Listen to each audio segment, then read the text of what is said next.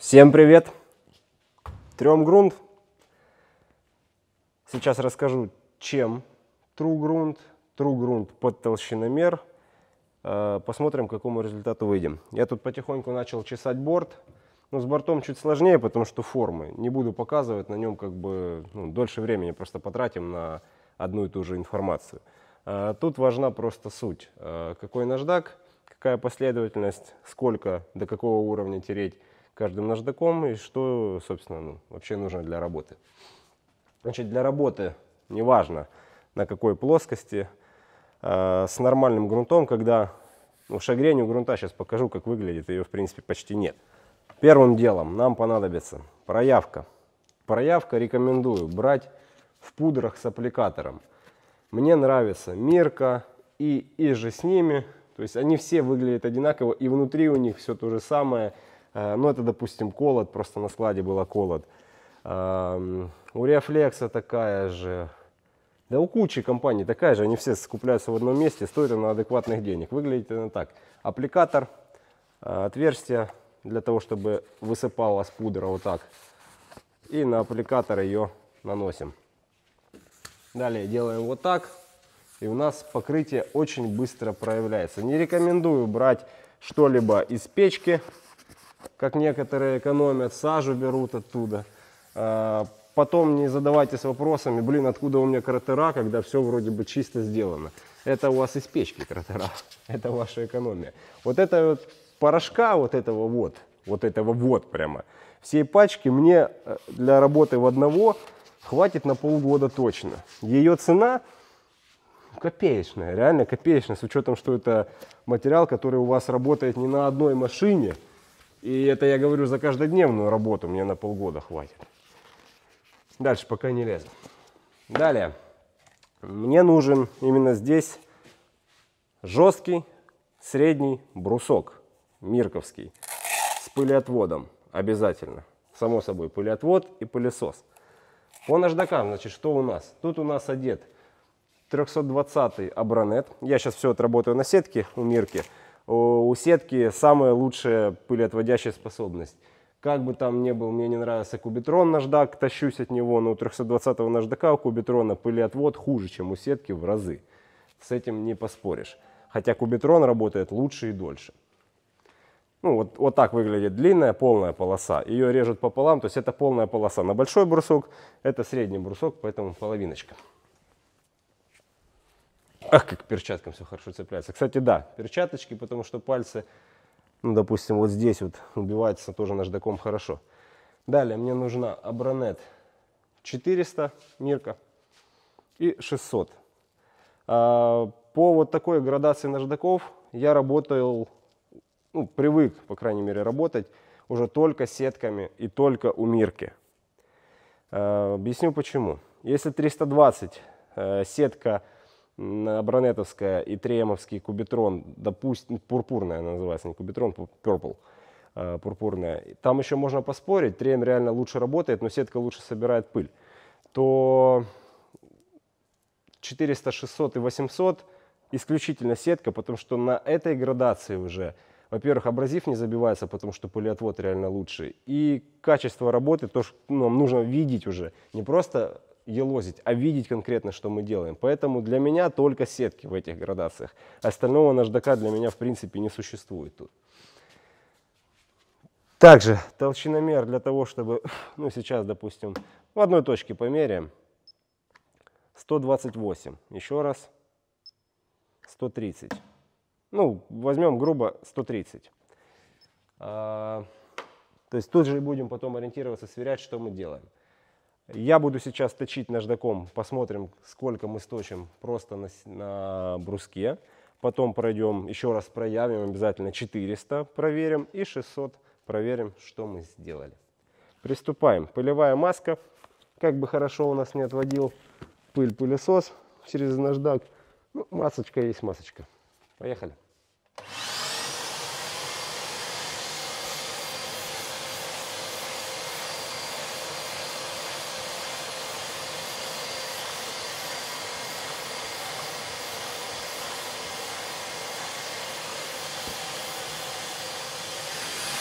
Сейчас покажу. Вот Э, Во-первых, э, наждак поменяю, потому что я им отработал весь борт, и уже кусочек подсел. Тремовский еще проработал и работал у меня. Ну, тут пыли нету, по крайней мере.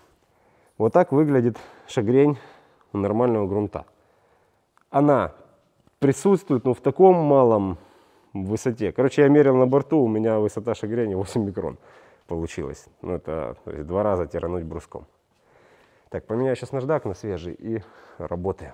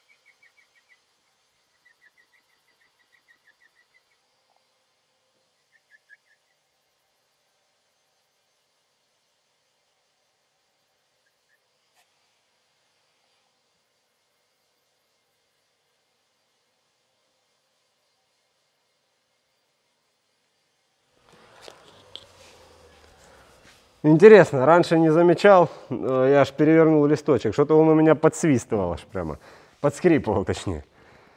Ну, листочек доработал, в принципе, им можно еще крышу доработать, но он уже туговастенько трет. Вот это единственный минус Мирки от Трема, у нее чуть-чуть слабее зерно, именно у Абронета. Но, повторюсь, сетка, посмотрите, пыли вообще нету, прям совсем нету пыли. Даже вот тут вот в кантике, где по идее она может сыпаться, ее нет. Кстати, по поводу кантиков, кантики вручную 400 и 600. 320 не стоит брать, лучше чуть-чуть подольше потереть, даже если там где-то там капелька, к примеру, грунта натекла или еще что-то, потому что выбить оттуда крупную риску будет уже тяжело. Возьмем толщиномер, у нас было ну, 130, средний возьмем. 104 микрона. То есть я снял, ну я так тут уверенно тер, я снял, можно так сказать, ну, почти 30 микрон. Еще у нас на машинке 400 и 600. Машинкой буду работать Мирка, Дерес 5 миллиметров с проставкой, э, мягкой проставкой. Э, для того, чтобы, ну, во-первых, у меня есть тут кое-где радиусы. Ну, крыша, допустим, можно и на жесткой, ну, я про борта больше. Есть радиусы, нужно не нарубить на них э, ступенек. Поэтому только проставка. Мягкая проставка плюс ко всему э, гасит колебания. То есть пятерочка у меня превратится ну как минимум в четверочку по своим колебаниям. А вообще в идеале, конечно, но это надо чуть позже купить, как бы вещи не дешевые, со старта тяжело. Э, троечку. Ну, пятерочкой можно 400 пройти, а на 600, ну, на 400 наждаке, а на 600 наждаке взять 3 миллиметра эксцентрик и пройтись тоже на мягенькой проставочке, тогда будет вообще просто сказка. Но 5 миллиметров всю жизнь работали, даже вон, в сервисах 3 миллиметровые просто валялись для полировки. 5-миллиметровыми под любые перламутры, металлики, ксералики, пофиг, проставку, гах туда и пошел, никаких проблем. Главное проверить, что ты сделал. А для того, чтобы проверить, что ты сделал, возвращаемся к пункту 1. Не забываем проявлять. На 600 можно, в принципе, не проявлять, потому что там уже не та риска. А 320 еще нужно пересмотреть. То есть, если где-то 400 даже чуть-чуть ее не дотерла 600 ну, блин, ну промахнулись, да, ну не увидели. Э, заметить ее будет крайне сложно, а вот 320 заметить будет крайне легко. В принципе, на любом цвете.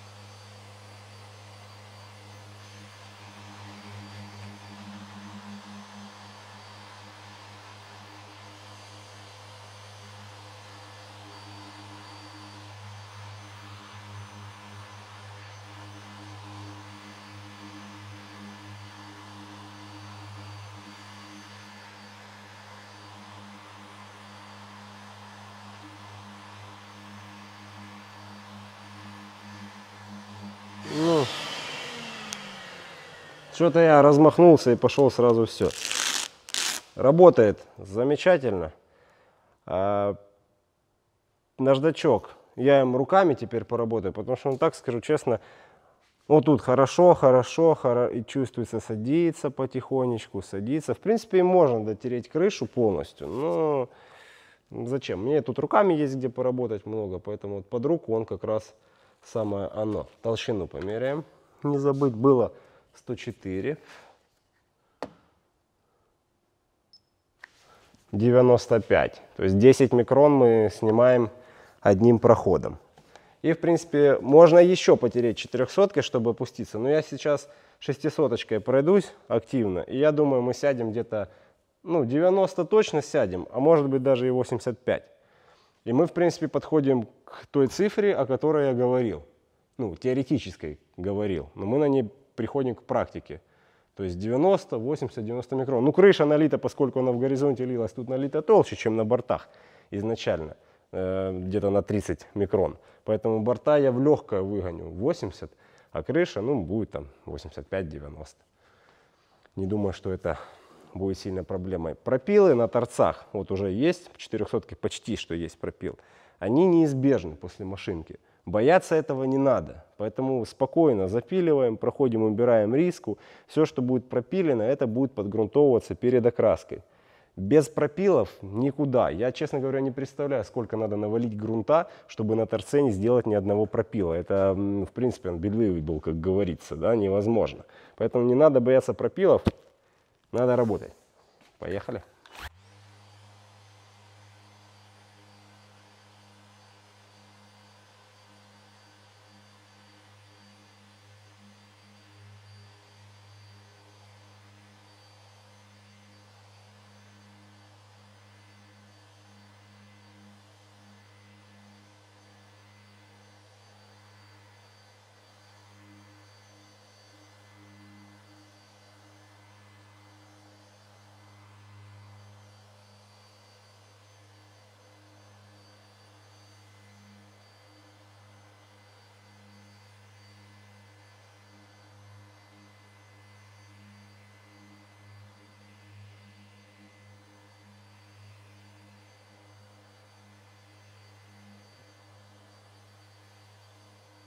И пыли особо нету.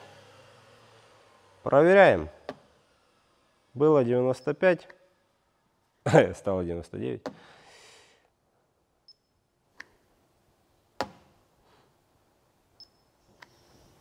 Ну вот, в принципе, я, видать, чуть выше взял. Толщина чуть меняется что там везде. Ну вот в районе 90, как я и говорил. То есть 89, вот 88 тут показало мне. Не могу ровно приложить на круглую поверхность. 88, давайте посерединке ради интереса. О, тут 110, надо еще потереть. А, 110, 115. Значит, буду сейчас чухать еще. Ну, чухать я буду 600 -кой. То есть, в общем, ну, смысл понятен. Было 130, да, вот, ну, берем одну точку как, как ориентир.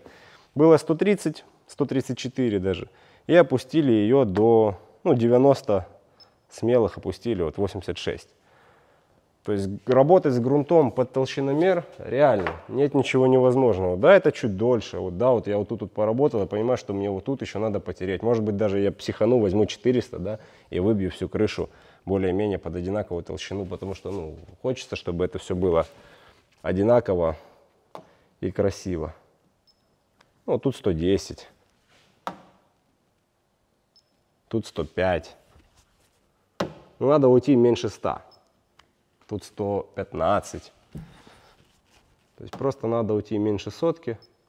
Да, а еще 400 пройду, потому что, потому что, потому что. Вот. А, работа с остальными плоскостями, она такая же. Отличается только типом брусков. Может быть, придется взять полукруглый, выпуклый такой полукруглый по форме, чтобы пройти где-то около арок может быть, придется взять, допустим, мягкую проставку под руку, на которую клеится наждак, и идешь там по разным формам, там, где, допустим, бруском ну, просто неудобно, либо можно нарубить ребер. Только этим отличается. Выбор наждаков от этого не меняется. То есть работаем по грунту 320, 400, 600. Все. А в мягких, э, тремовских или ковакс, ковакса есть такие на софтпадах, они называются, не софтпад, а блин, уже повылетало из головы название наждаков. Короче, называются они Fine, Superfine, Ultrafine, Microfine. Так вот, для такой работы нам нужен Superfine, Ultrafine, да, в принципе, на этом остановимся. То есть где-то тут почухать, там почухать, либо же 400-600 на таких наждаках. Также может быть понадобится серый скотч-брайт, там, где ну реально даже наждаком не можем залезть, чтобы хотя бы ту же самую пудру достать оттуда, а, чтобы выдуть. То есть серым скотч-брайтом прошлись, промотовались, можно пройти по поверхности вместе с обдувочным пистолетом, согнать пыль. Это хорошо перед тем, как обезжиривать, чтобы ну, не тягать за салфеткой первые слои, вот эту чаморож. Это все делается серым скотч-брайтом. И серый скотч-брайт, кстати, тоже риску немного подсаживает потому что это как, как-никак, там, в зависимости от типа фирмы, от 600 там, до 1000 идет э, разбег по градации. Поэтому это тоже абразивный наждак. На этом у меня все. Дальше в следующем видео покажу, просили показать, точнее, отдельно оклейку под покраску. Потому что под грунт это, знаете, так, там пойдет, что горбы где-то, там не натянуто идеально, под грунт нормально, под покраску нет, не прокатит. Поэтому отдельно будет обклейка и отдельно будет покраска. Сразу забегу наперед. Этот кузов, поскольку у него тут есть жесткое разделение молдингом, я буду красить в два захода. Отдельно два борта, отдельно крышу. я так привык э, лишь потому, что это ну реально гораздо чище. Гораздо чище. Как себя не обдувай, как себя там не, не сдувай, не проходи там все эти дела. Когда я работаю вот так вдоль борта, это одно. Но когда я поработал вот так вдоль борта, а потом пошел лачить крышу, у меня тут шланг, который лежит по полу, и как его не обтираю, он все равно так или иначе ложился на пол.